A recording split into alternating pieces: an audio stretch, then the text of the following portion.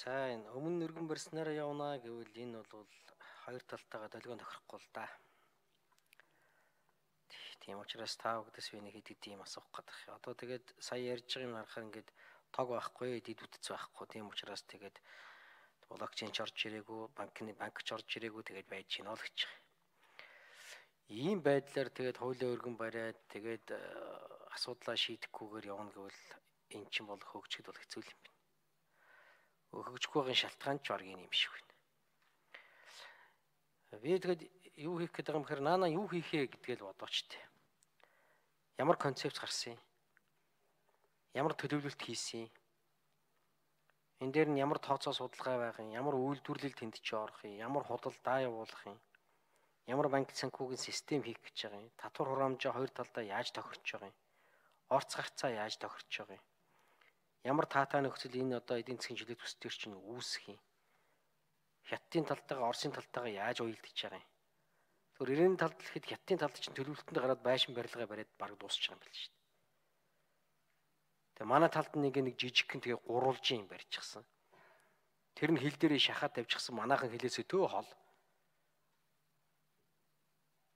Хятадын орж ирж байгаа тэр зам аа тэгээ тэр төмөр замынх нь гарц орцууд нь шал өөр. Тийм уйлдахгүй юм чинь яаж явах юм бэ? Нэг нь том дугуй, нэг нь жижиг дугуй гэсэн үг шүү дээ. Яаж цаашаа өнгөрөх юм та? Тэгээ яг орж ирж байгаа тэр худалдааныхаа ямиг ямар одоо үйлдвэрлэлийг бид нар зөвшөөрөх юм, ямарын зөвшөөрөхгүй юм. А бүтээгдэхүүнийг яаж одоо шингээх юм? Хэдэн одоо Монголын их усрээс авах юм? Хэдэн одоо таранцад чиглэлдээ явах юм?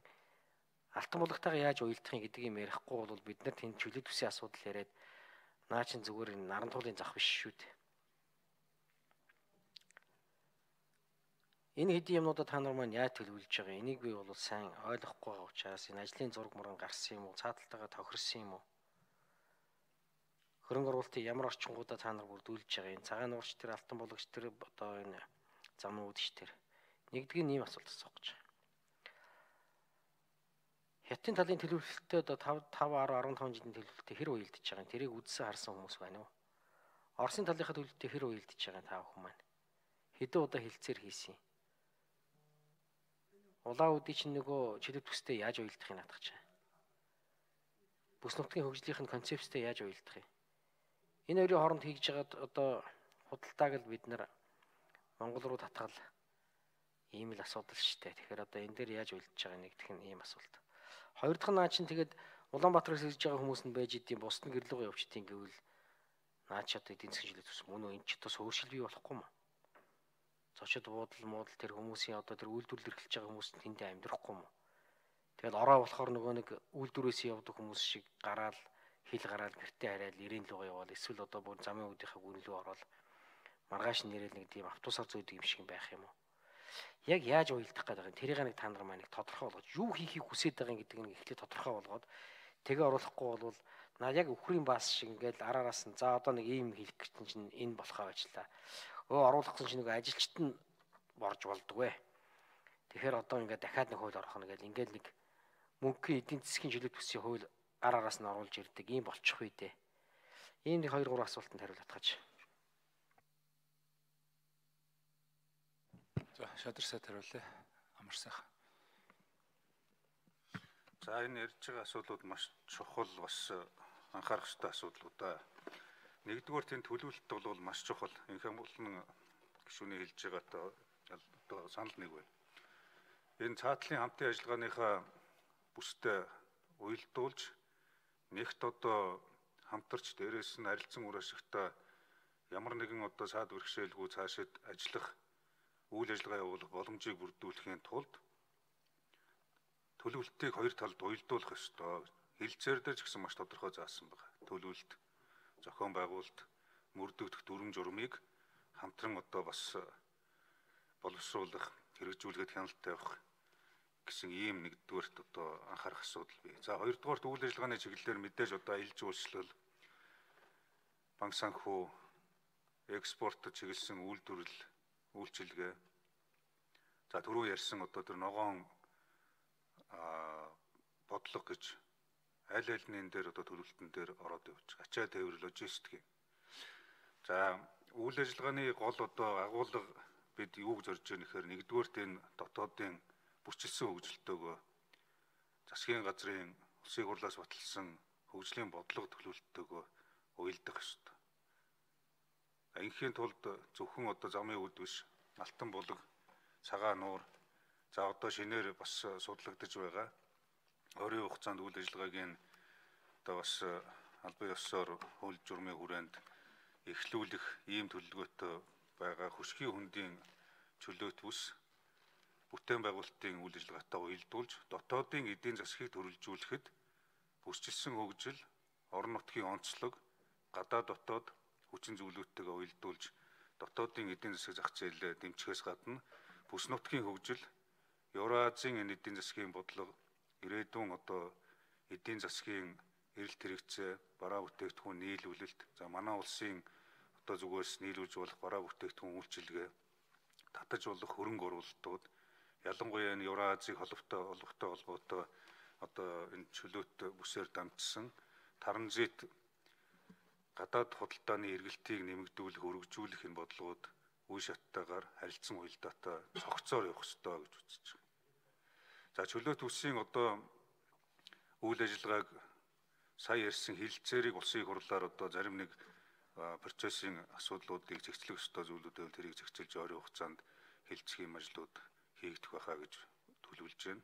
Нэгэнт улсын хурлд одоо өргөн барьсан байгаа учраас за хоёрдугаарт нь сая одоо засгийн газрын хоорондын комиссийн хуралдаан болсон Орос Монголын энэ хуралдаанаар Алтан булаг чөлөөт бүсийг мөн ялгаагүй замын үүдтэй нэгэн адил эдийн засаг гийн хамтын ажиллагааны одоо чөлөөт бүс болгох хамтарч ажиллах асуудлуудыг ярилцсан, санал солилцсон. За цаашдаа бас одоо энэ яриа хэлцээрүүд үргэлжлээд явна. Ингэж энэ хоёр одоо Алтан булаг замын үүд, цагаан нуур хөшгийн хөндийн чөлөөт бүс бүтээн байгуулалтын одоо энэ төслөтрүүдтэйг уялдуулж хоёр талын одоо хөлийн бомтуудтайгаа холбох илүү одоо боломжийг хаа ханаа олгох дээрэс нь харилцан өршөлтөд хамтарч ажиллах асуудлыг зөвхөн хоёр хөршөөс гадна одоо цаашдаа энэ Европын зах зээл Азийн бусад орнуудын зах зээлтэй олгоход энэ чөлөө төсвийн бүтээн байгуулалт маш чухал юм байна. За дээрэс нь түрүүн дэлгэр сайхан гишүүний асуусан зүйл дээр бол бас нэмээд нэг хариулт өгчөхөд чөлөө төсвийн тухай хуулиар бол тэр ажил хүчний хязгаарлаж байгаа асуудал бол байхгүй харин одоо энэ улсын хурлд өргөн баригдсан ажиллах хүчний шилжилт хөдөлгөөний тухай хуулийн шинжилсэн найруулгын төгсөлд энэ чөлөө төсвийн тухай хуульд өөрчлөлт оруулах нэг юм дагалдах хууль өөрчлөлт оруулах юм заалт орж ирсэн байгаа. За энэ одоо хууль хэлцэгдээд явхад ажиллах хүчний шилжилтүүлдөөний тухай хуулийн шинжилсэн найруулгын төслийн дагалдах чөлөө төсвийн хуульд өөрчлөлт оруулах тухай хуулийн төслийг бас өөрсөлтөө холбоотой зарчмын зөрүүтэй саналууд явах байх гэж бодож байгаа. Тэгэхээр энэгээр энэ асуудал бас зохицлогдоод явна гэж ойлгож байгаа. За банк орооны дарга Жамплын Ганбаатар. За нэмж хариулъя. Инкамлан гишүүний хэлж байгаагаар үнэхээр энэ бас нэмэлт өөрчлөлт гэж орж ирсэн л та. Тэгээд э, яг орж ирж байгаа асуудлын хүрээнд л ярихаас өөр одоо байнгын ороо улаан ажлын хэсэгтэр бол өөрдийг байхгүй бол та сайн мэдж байгаа. Цаашлаад бас зүгээр нэмэлт өөрчлөлт нэмэлт өөрчлөлт тэгэл суулаад байх бас үгүйсэхгүй таны хэлж байгаа бол асуудал зөв. Аа нэг зүйл хэлэхэд бол энэ гадаад харилцаагийн асуудлыг бол засгийн газрын нэг дөрвөн тавиад тэр хятадын тал болоод Оросын тал өөрөө сонирхолтой баймаар байгаа байхгүй. Тэгэхгүй бол одоо Монголын тал бас л өөрхий зүтгэлээдэг зүтгэлээдэг тэгэл хятадын тал Оросын тал өөрсдөө бас одоо үнэхээр яг нэг бодлоготой өөрсдөө хүсэл санаачлагтай аль айланд нь юм байх шиг байгаа юм. Зүгээр яг ялангуяа Оросын тал дээр бол тэр хүмүүс санаачлахуд жоохон хязгаарлагдмал байна л гэж энэ хууль хэлцэж байгаа явцад бол харсан. За яг энэ хуулиар бол ерөнхийдөө юу өмнөх байж байгаа одоо ялангуяа замын үүдийн чөлөөт бүсийн гацаанд байгаа асуудлуудыг бол гацаанаас гаргаж байгаа. Замын үүдийн чөлөөт бүс бол ерөнхийдөө бас тохиолдож исэн бэрхшээлүүдийг яг хуультай холбоотой тохиолдож исэн бэрхшээлүүдийг энэ хуулиар бол ер нь бас гацаанаас нь гаргаж байгаа бас ажиллах боломжоор нь хангаж байгаа гэж үзэж байгаа. За энэ э, алтан болог за тэр замын үед хоёр дээр ер нь замбраагүй байгаа зүйлүүд бол тэр таталтан руу байгаа хідэн дэлгүүр л ажиллаж байгаа одоо. Тэр хідэн дэлгүүрүүд бол зүгээр л тэр э, Хуулиараа бол уулын зүгээр гайлын татвар, нөөтийн татвараас л тэр 3 сая төгрөгийг чөлөөлж байгаа юм. Одоо иргэд ороод бараа бүтээгдэхүүн худалдаа авах 3 сая төгрөгийн. Гэтэл онцгой татвартай арх зараал одоо энэ дээр хяналт тавихгүй. Тэгэл энэ онцгой татвартай архиуд нь ингээд энэ сошиалар одоо тийм арх байна, ийм арх байна гэж зарагдаал. Энийг бол одоо энэ хил хамгаалах байгууллага гайл ерөнхий газар маш сайн анхаарах хэрэгтэй. Эдийн засгийн байнгын орооны хурал дээр би өөрөө бас сануулж хэлсэн. Тэгээ Монгол улсын хууль зөрчигдөж байгаа шүү. Ялангуяа онцгой татврын хууль. Тэгээ гайл ерөнхий газрын гаргасан журмаар зохицуулдаг ч шиг. Монгол улсын хууль гэж байгаа. Монгол улсын хуулиар зохицуулнаа. Одоо энэ төрийн байгууллагууд ер нь нэг даргынхаа журмыг бариад дайрдгаа болох хэрэгтэй байхгүй. Хууль барих хэрэгтэй. Наа төрийн социализм үеэс дамжаад ирсэн тэр нэг хүн суртлаасаа салах хэрэгтэй шүү дээ. Хууль баримталж ажилланаа гэдэг. Тэгэхгүй бол одоо гайл ерөнхий газрын гаргасан журмын дагуу гэдэг нэг хэдэн литр арх хэдэн литр тамхи гинөө. Хуулиас давсан журамтай байж болохгүй. Тэгээд энэ э, чөлөө дүүсүүд ялангуяа алтан болгын чөлөө дүүстэр байж байгаа тоо томшгүй дэлгүүр байна. Одоо юугүй тоггүй цахилгаангүй мөртлөө баахан дэлгүүр ажилтдаг. Тэр дэлгүүрүүд Монгол улсын ялангуяа наад онцгой татврын хуулийг эрс зөрчиж байгаа. Энийг засах ёстой шүү. Тэр дарга нь ирдэггүй. Дарга нь хайцсан мэдэхгүй одоо энэ хилцүүлэгтэй холбоотой ажлууд дээр тэр алтан болгын дарга гэдэг хүн огт харагдахгүй байхгүй. Одоо энэ цагаан нуур энэ юу хоёрын дарга нар бол яваад байна Э, энэ замын үт хоёрын тэр алтан болгын нөхөр одоо дээр дээр архил зараал байж идэм шүү тэр. Энэ асуудлуудаа зэгцлэх хэрэгтэй шүү. Эдийн засгийн байнгаараа удаа дараа анхааруулж байгаа шүү.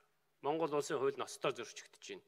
Тэр гайл их хил хамгаалах газрууд анхааралтай аваараа. Зовх ёсны газрууд нь бичиг хөргүүлсэн байгаа шүү. Баярлалаа.